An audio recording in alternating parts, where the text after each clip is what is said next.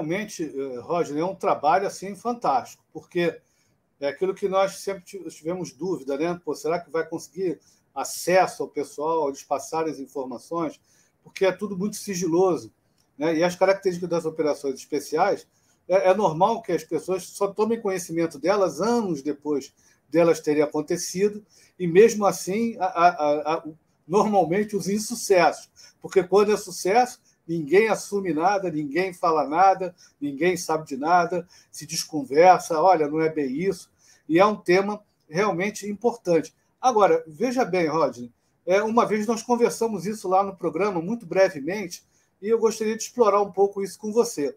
Porque é, nos Estados Unidos e na Inglaterra, especialmente nos Estados Unidos e na Inglaterra, né, os SEALs estão, sempre foram é, temas tem filme, tem série sobre SEAL, né? você tem filmes sobre os Rangers, você tem na Inglaterra os filmes sobre o SBS e o, S, o SAS, principalmente sobre o SBS.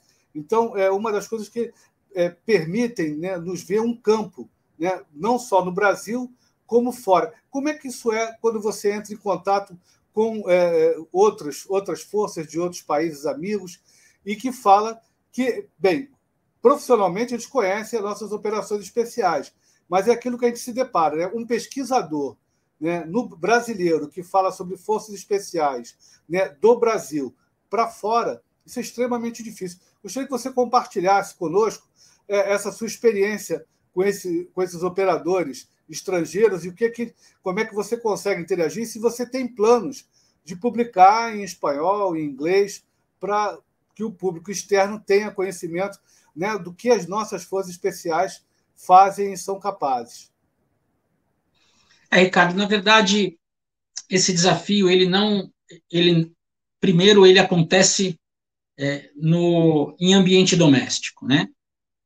A, as nossas tropas de operações especiais, elas têm um know-how muito grande e mas são pouco são pouco esse know-how é pouco percebido, inclusive, no âmbito das forças. Então, é, a força convencional conhece pouco a expertise das tropas de operações especiais. Então, quando você tem a oportunidade de escrever para uma revista de projeção, como é a revista Segurança e Defesa, ela é considerada uma das duas, um dos dois periódicos mais importantes na América Latina quando você tem a oportunidade de lançar livros como Guardião de Netuno e que de Preto, a, a comunidade é, acadêmica, a comunidade militar acaba tendo muita curiosidade em conhecer essa os textos que falam sobre essas forças, porque até então é, muito pouco ou quase nada tem, tem se escrito sobre elas. Então, quando esses livros e esses textos são publicados, a percepção que se tem da, do pesquisador, ela é uma, uma percepção que, que te abre portas. Né? Então, para você ter uma ideia, é, o ano passado eu fui indicado pela Marinha do Brasil como um pesquisador de referência no âmbito da Força Naval, para o segmento de guerra irregular e operações especiais. Isso, para mim, foi uma, uma satisfação muito grande também. Eu acabei de, de, de saber, fiquei sabendo nessa semana também, que vou ser agraciado com a medalha Mérito Tamandaré, que foi é, uma solicitação, né? O meu nome foi indicado pelo Comando Naval de Operações Especiais. Então, a gente acaba é, tendo essa projeção. E no âmbito internacional, eu eu tenho, eu tenho obviamente, a, a, a, a intenção de publicar fora, né? Nós já tivemos a editora é, e o book que lançou o Kid Preto, ela recebeu a demanda de uma escola de formação da Colômbia para a escola, a escola Superior de Guerra da Colômbia é, demandou dois livros, pediu dois livros para a editora para conhecer a história das, das nossas operações especiais do Exército. Então, essa, essa percepção ela vai sendo ampliada, né? Então, mas é preciso, Ricardo, isso é, é importante destacar. Não basta a gente ter um único é, é, pesquisador que se dedica a essa temática. É preciso que os textos sejam é, é, é publicados por outros pesquisadores, outra, outras pessoas se interessem por essa temática. É uma temática que hoje está muito em evidência em virtude da tipologia de conflito que nós é, vemos no cenário internacional, né? Então nós temos hoje o, o, o conflito russo-ucraniano aí que tem uma projeção das tropas de operações especiais.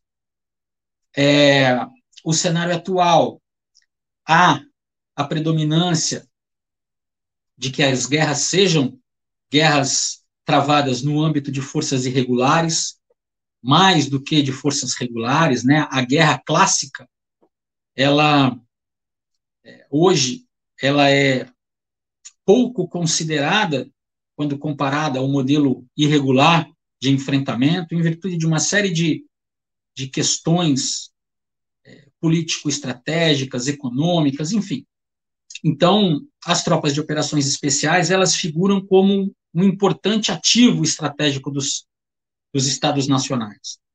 É, Para você ter uma ideia da importância estratégica das tropas de operações especiais, eu gostaria de apresentar dois exemplos que são contemporâneos e que denotam a importância estratégica das tropas de operações especiais.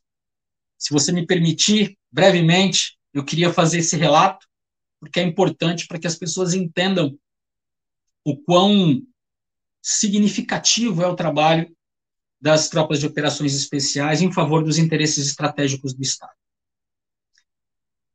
Posso falar? Oh, vai em frente, go ahead. Bom, então, em 1980, nós temos duas ações que são é, muito simbólicas.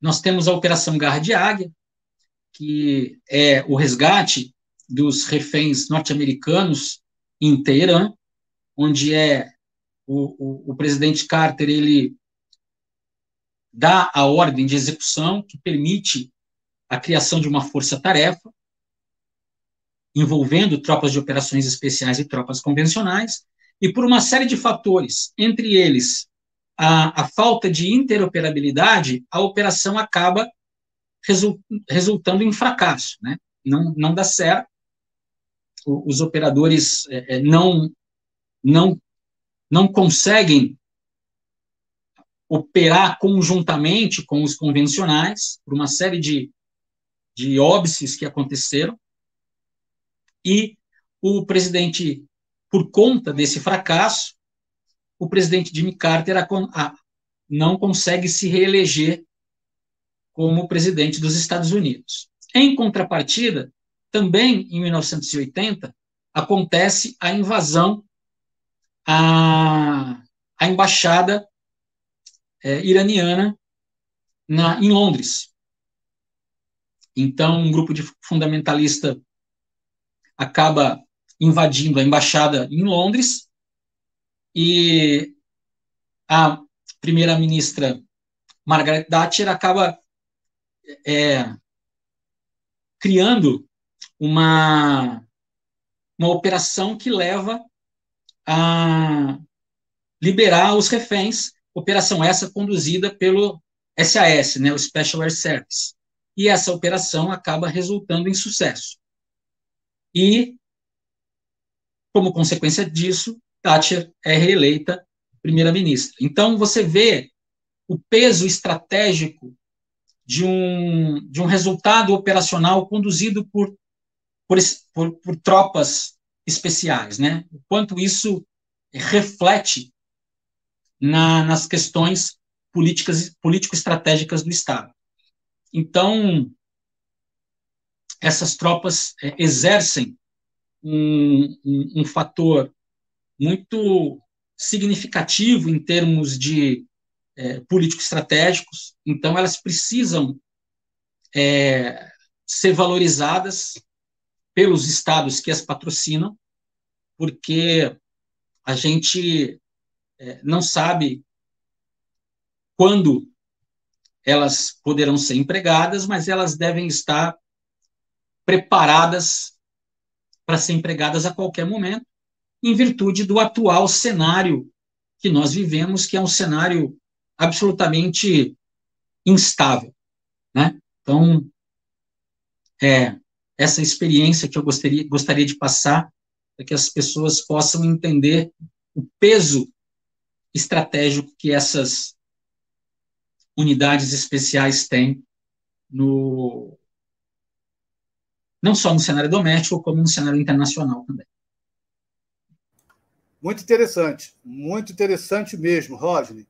É, se nós fôssemos conversar sobre operações, a gente ia ficar. O, o, pô, vai... Aliás, vamos contratar com você um outro programa só para falar disso. Porque, por exemplo, a guerra ao terror é uma guerra feita basicamente Claro, tem muita tropa regular, né, que ocupa o terreno, que faz, vamos dizer assim, o trabalho sujo, né, de controle de, de, do terreno, de controle da população, de controle de pontos sensíveis, mas as tropas, as forças especiais, é que atuaram em força em várias ocasiões. Tem ocasiões que são memoráveis, né? como a entrada em Faluja, você tem os fuzileiros, mas quem entra realmente são os SEALs. E aí a gente teria, poxa, vários exemplos aqui para trabalhar. Já fica contratado com você um novo programa só para falar de operações especiais. Só operações. Hoje foi só para o público conhecer você. É, com relação à publicação, eu posso te oferecer a Revista Brasileira de História Militar. Não, ela está aberta para você, caso você queira publicar lá o um ensaio. É um ensaio com uma pegada mais acadêmica, mas está lá aberta. Se você tiver colegas que estejam interessados em publicar na revista, nós estamos abertos. E fica aqui o convite para o seu retorno. É, pelo tempo, a gente, infelizmente, não vai poder seguir nessa conversa, mas já vamos contratar um segundo, um segundo programa só com você para falar de forças especiais. É, eu gostaria de te agradecer pela entrevista, pela essa ideia do, do que são as forças especiais. A gente vai ter que voltar ao programa, porque o tema é maravilhoso, o tema, enfim, remete a uma série de situações e que hoje né, a, a força é engraçado, né? Que é, é, como mudou. Antigamente, quando pô, eu entrei no, no Exército, entrei nos anos 80. Quando falava Força Especial, você falava de paraquedista, meia dúzia de operadores de forças especiais, de comandos, numa companhia reunida. E hoje em dia você tem um grupamento muito maior, inclusive as forças de pronto emprego. Né? Você tem muitas unidades hoje que são de pronto emprego justamente para isso. E isso mudou a configuração do Exército, ou seja, né, o impacto né, da guerra ao terror, sim, mas como o sucesso das forças especiais no combate ao terror, à guerrilha e a outros, é, outros enfrentamentos irregulares. Eu gostaria de passar a palavra para você, Roger, para você é, fazer aí suas considerações finais, né, colocar aí o, o, o, algumas coisas em pauta para o próximo programa já está convidado, como já reforçando aqui o convite. E a bola está com você, Roger. Bom, eu agradeço aí a disponibilidade da revista. Eu fico muito é, feliz porque sou entusiasta da, dessa publicação. Então a gente vai pensar numa abordagem interessante com essa pegada acadêmica. Então, Ricardo, é, é o que é importante a gente colocar para abordar numa próxima oportunidade é que as operações especiais elas têm obrigatoriamente que ser percebidas no âmbito das suas três tarefas operacionais. Normalmente elas são evidenciadas pelo que se chama de ação direta, que é basicamente o que operações de enfrentamento, é o resgate de refém, é a coleta de, de material de inteligência, é, atrás das linhas inimigas, é, a destruição de uma bateria de mísseis inimigos, enfim, isso são ações diretas. Mas a gente precisa pensar também as duas outras vertentes, que é o reconhecimento especial e a ação direta. A ação direta que é o treinamento, o assessoramento, a preparação de forças amigas. Para você ter uma ideia, a gente tem no primeiro momento de a primeira resposta norte-americana aos ataques de 11 de setembro, elas são o envio ao território afegão de dois destacamentos operacionais alfa. São destacamentos operacionais de forças especiais, cada um deles com 12 homens. O destacamento operacional 555 e o destacamento operacional 595, compondo então 24 elementos que penetram o território afegão para poder promover o treinamento, o convencimento e o treinamento da, da Aliança do Norte, né, da, das pessoas vinculadas à Aliança do Norte, para que eles pudessem combater o Talibã e a Al-Qaeda. Então, é um exemplo clássico de ação indireta. É, quem tiver a oportunidade de assistir o filme Doze Heróis, ou então ler o livro, né, Doze Heróis, é, vai conseguir ter um pouco, vivenciar um pouco do que é essa operação de ação direta que foi desempenhada por esses dois destacamentos operacionais alfa do Exército Americano. E também o reconhecimento especial, reconhecimento especial que é basicamente a coleta de dados de inteligência. Você vai coletar dados de inteligência para poder é, é, assessorar o, o processo decisório e a utilização de forças convencionais, se for o caso. Então, essa, esse tripé, ação direta, ação indireta e reconhecimento especial, precisa ser percebido não só pela sociedade militar, como pela sociedade civil, como sendo ações fundamentais que são desempenhadas por tropas de operações especiais e que podem é, ser utilizadas como um importante ativo estratégico em favor dos interesses do Estado. A gente pode conversar um pouquinho sobre isso em, outro programa ou em outros programas, porque tem muita coisa para a gente falar.